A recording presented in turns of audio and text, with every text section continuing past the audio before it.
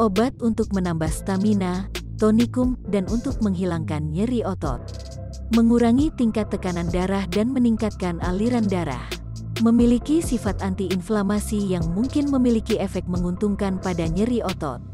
Kandungan limonin dalam jahe merah memiliki manfaat untuk menghambat jamur Candida albicans, penyebab infeksi jamur pada area kulit.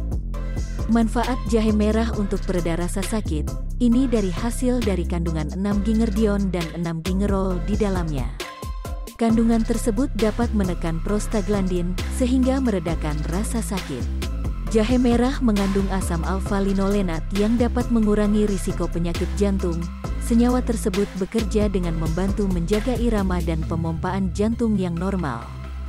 Asam alfa-linolenat juga berpotensi untuk mengurangi pembekuan darah.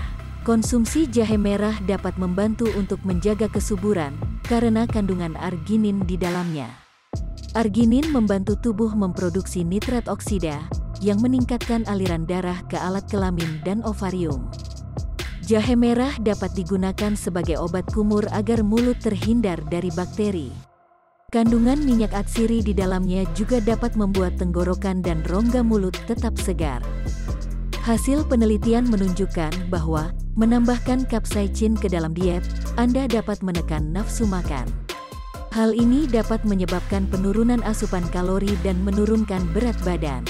Konsumsi asam klorogenat melalui jahe merah dapat membantu mengurangi risiko hipertensi, aterosklerosis, dan gagal jantung.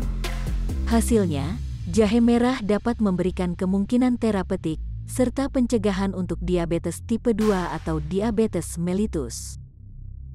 Jahe dapat digunakan untuk meredakan mual dan muntah. Jahe juga dapat membantu mual terkait kemoterapi dan kehamilan, seperti mual di pagi hari. Jahe merah mengandung gingerol dan sogaol yang berperan sebagai imunomodulator. Selain itu, jahe merah memiliki efek antiinflamasi dan antioksidan.